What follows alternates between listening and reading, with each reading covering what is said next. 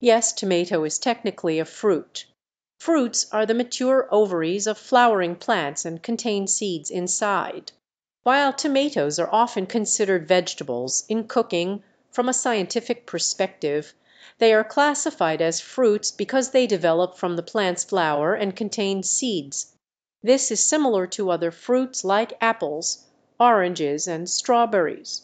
So next time you're enjoying a tomato remember it's a fruit in disguise.